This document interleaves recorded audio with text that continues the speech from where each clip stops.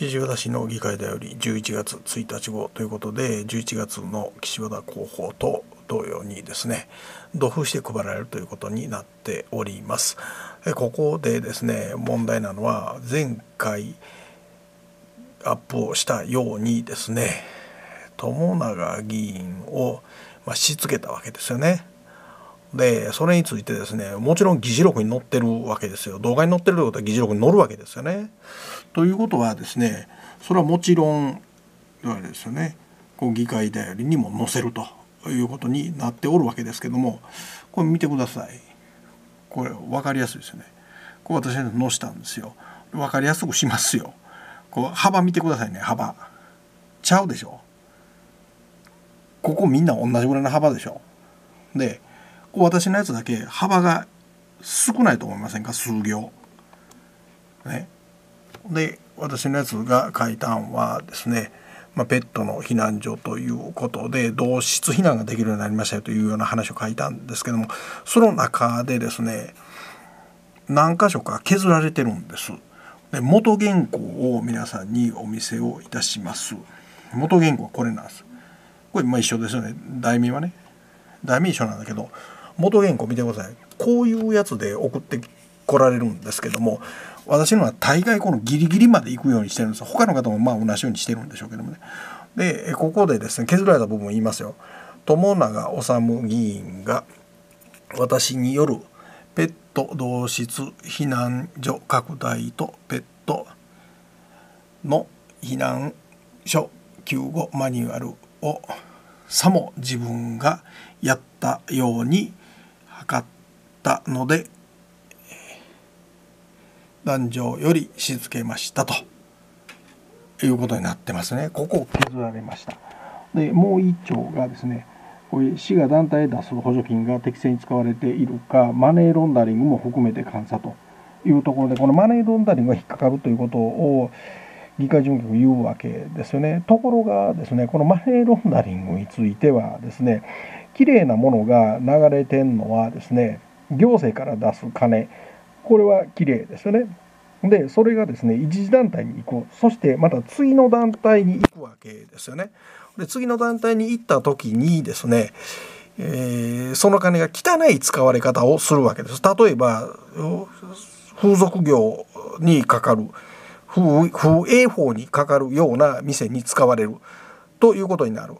でまあそれは税金でそういうとこ行ってええのかということになりますよね。これも汚くなってるわけですね。でその汚くなったものを会計報告するわけですその組織は。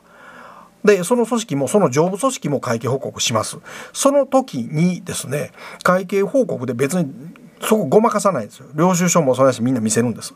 でこれ議会ではっきり言うてますけどもそれを言うたところでですねえそれを聞いてるご本人たちはですねいわゆる会員はそこで文句言わないです。なんでか。自分らもそういう恩恵を受けれるという可能性があるからですよ。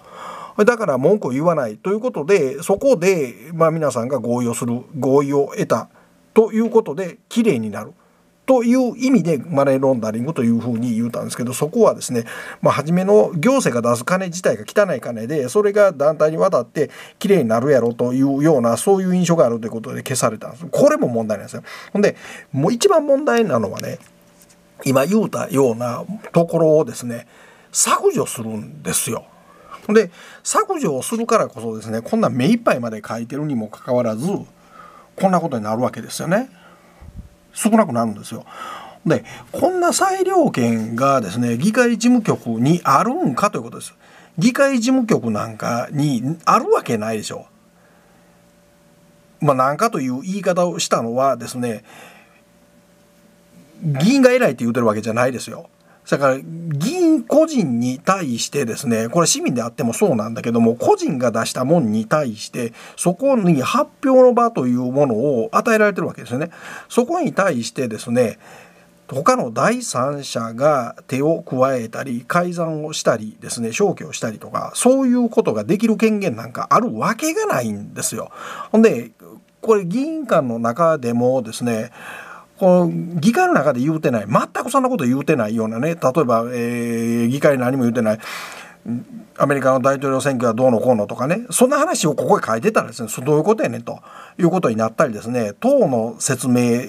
まあ言うたら、えー、宣伝ですよね。そういうことを前にですね岩崎議員がやってそこの部分を冒頭に言われたのでその部分は削除されてます。それについてもう一回ここで復活さすというようなことがあればそれは問題ですよ。ところが私のやつは議事録に載ってますからね。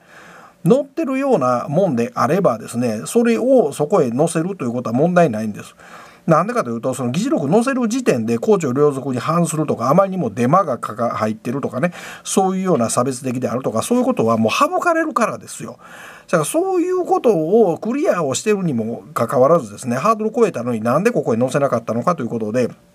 その権限は議会事務局あるんですかということを聞いたらですね高い事務局長もそんな権限ないと権限があることを明文化したものを出してくれって言うとそのないって言うんですよね。ないものを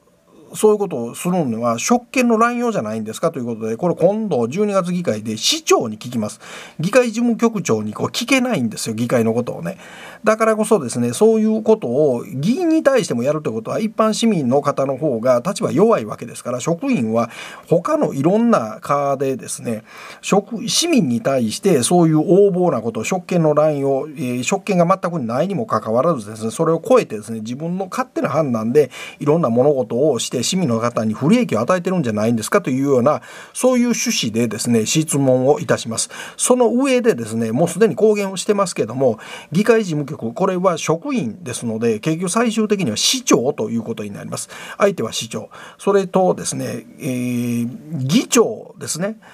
最終的にこれ発行権限っていうのは最終責任者議長なんですよ。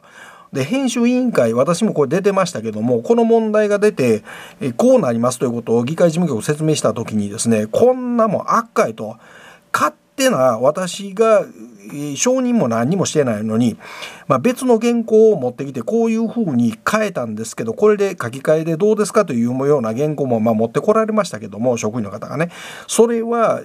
そういうことは私しませんと。私は自分の原稿を手にお金間違ってるとか誤字とかそういうことやったら別なんだけどもそうじゃない以上はですね私の原稿をオリジナルで使ってくれということをずっと言い続けてるわけですね今でもね。でその中でいやもう最終決断として削った。で編集委員会に出してきた編集委員会ではですね他の6人の幹事長がです私以外のね6人の幹事長がそのまま編集員になってんだけどもその個人のところをいじるような権限は編集委員会にありませんよと言ってるんです。だからそんな判断を私はそれはおかしいでしょ元に戻せって言うてるで議会事務局の方はいや元には戻せませんとこのへつった状態これでいけって言うてるほなその中でどっちにするんか編集委員会に聞くって言われても編集委員会はいやそれ判断できないと。いうことになってるので、まあ、そこで反対やと高平の言うての反対やと言われるんだったらその議員もですね被告にしたんですけども。そうじゃなかったので議会事務局、まあ、つまりトップは市長ということになりますね市長長野市長とですね、えー、議長に権限があるということで、えー、烏野議長もですね被告ということで共同の被告ということでこれは訴訟をいたします。でこれも職権乱用ですからねだから決まったことをやってるんだったら私もそこに従わないんだったら私が間違ってるっていうのは分かるんですよ。ところがそんな権限が全くないのにまあ、議員に対してまたまあ市民に対してかもわかんないですよね。